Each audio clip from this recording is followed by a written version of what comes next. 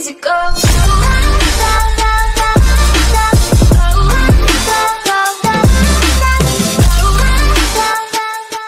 Yo, how's everyone doing? My name is Agent and I got you guys with another tutorial video. Now the video I uploaded before this one was about how to create a donation link without Super Chat nor Streamlabs. So this video is about how you can add your donation statistics on your PS4 streams without OBS, a capture card, nor remote play. Maybe you can add your newest subscribers or just any kind of message you want. But the donation stats will help make your stream look a little more professional. So enough with the intro, let's get started. This is gonna be very easy to do and it really shouldn't take too long. Alright, so the first thing you want to do is go on your PS4 and press the share button on your remote. A side menu should open up. Just scroll down and press on sharing and broadcasting settings. When you do that, another menu opens up. Scroll down and press on broadcasting settings. Now a small menu opens up. Just press on advanced settings. Now you got another menu and there's two things you gotta do on this menu. One, scroll down to display message to spectator and spectators comments and press X on that so a check mark appears in the box to the right. After you did that, just scroll down one more and press on message to spectators. Alright, so this is where you put your message or in our case, the donation stats. You press X in the box that lets you type. You could copy my format if you want or you could play around with the keyboard and make your own format. And once you did that, you can also change the color of the box that will be displayed on the stream. It's called the background color. So that's all you gotta do. Nice and simple, improving the quality of your stream and using all your resources to your advantage, especially when you don't have access to a good PC, a capture card, OBS and stuff like that. I hope this helped you and be sure to check out other tutorials I made on PS4 streaming. It might be what you're looking for, you never know. But I'll see you all later.